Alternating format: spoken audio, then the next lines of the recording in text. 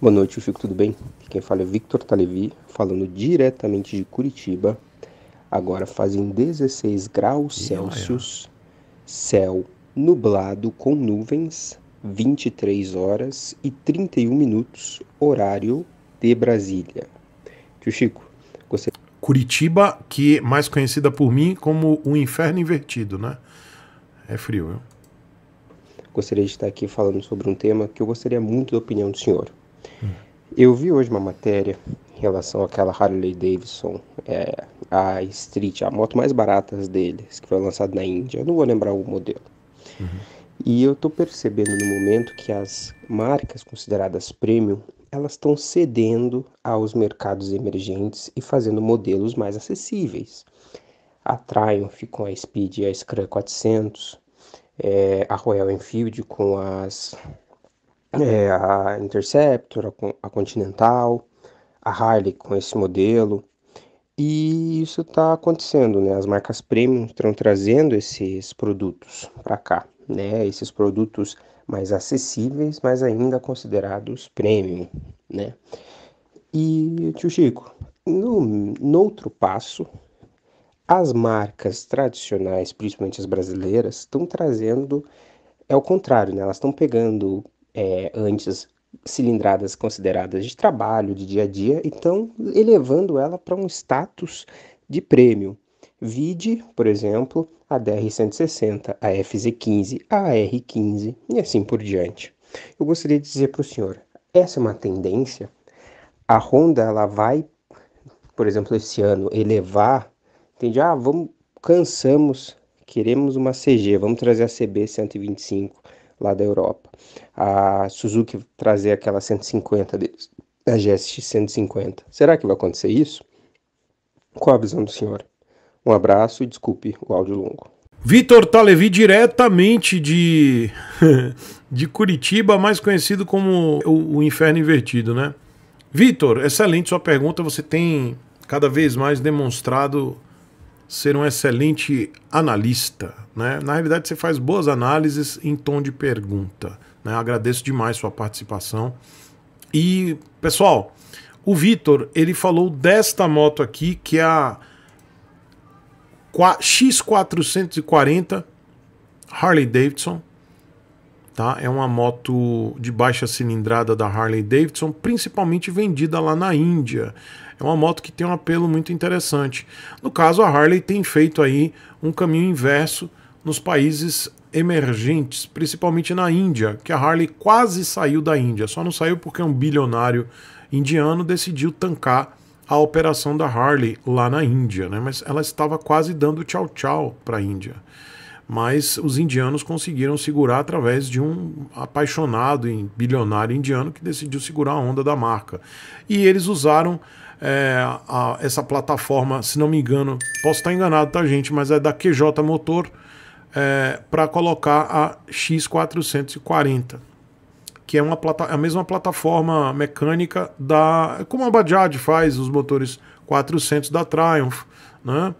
E a QJ Motor está produzindo, fabricando este motor da X440. Sim, é uma tendência mas acredito que é, o termo, eu entendo quando você usa o termo premium, né? Eu particularmente eu não gosto de usar o termo premium para para motos com melhor acabamento, mas eu entendo o que você quer dizer. Você quer dizer que ela tem um apelo mais premium. Né? Mas eu, eu, eu entendo perfeitamente. É porque, ao meu ver, na minha opinião, é muito pessoal, premium é, é uma parada que tem não somente a questão do acabamento, mas é um conjunto de fatores como pós-venda, é, benefícios do pós-venda, como a BMW entrega de guincho ilimitado, é o acabamento da moto, né? Tem, tem uma série de fatores, não somente o acabamento, mas também o pós-venda diferenciado.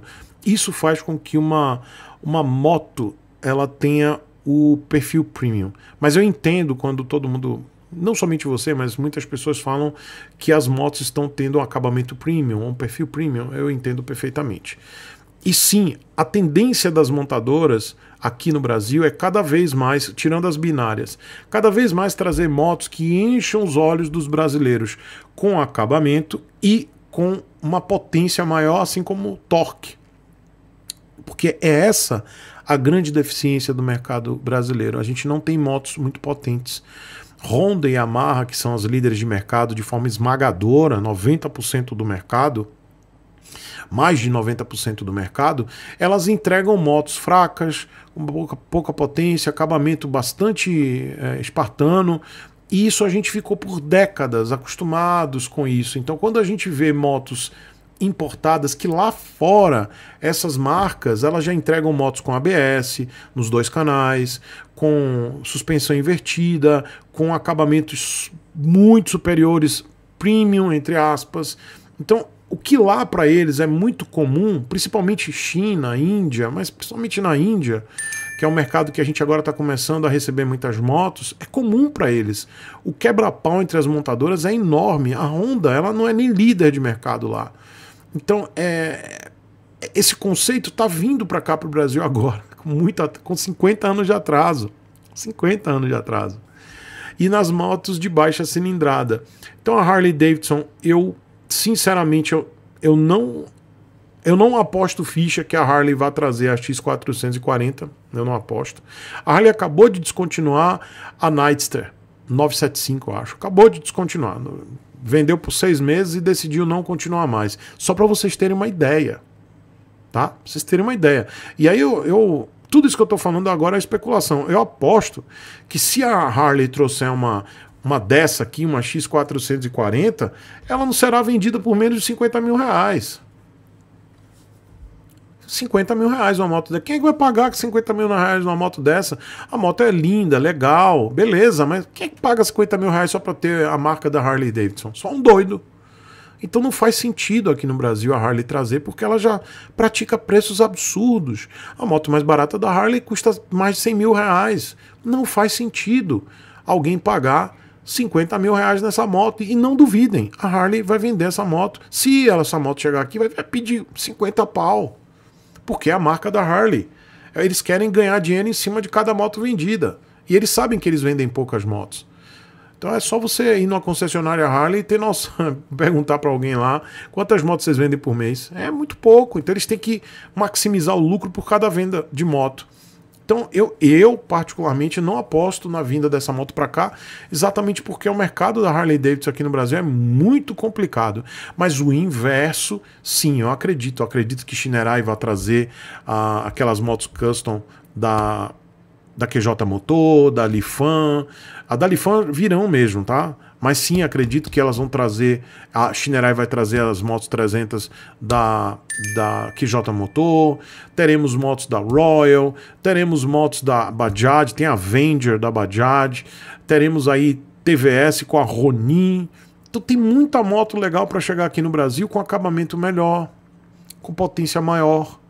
Então a gente está começando a entender como é que funciona lá fora, como era o mercado, como é o mercado lá fora, muito mais interessante do que o mercado brasileiro, né?